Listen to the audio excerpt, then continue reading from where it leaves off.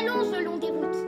Il s'élève comme une main contre la bouche des collines. Regarde l'arbre du chemin, il efface l'ombre du doute. Il accueille auprès du ruisseau celui qui avait faim et soif.